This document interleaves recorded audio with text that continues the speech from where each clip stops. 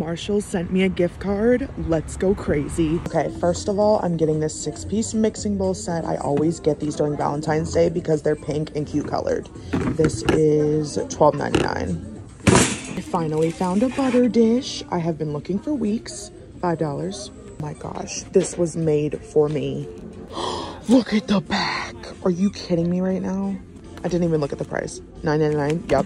This snake is so cool. Yes, this is gonna be so bougie. Oh my gosh, stop. They have the bins. I'm gonna grab what they have in here. This is fresh pickings right here. Have to get this. They have little hearts at the bottom. I have a recent obsession with seasonal napkins, specialty napkins in general. This is so cute. I'm gonna get this. Stop. I have a two set of Earl Pusheen glasses for $9.99. Baby, you're coming home with me.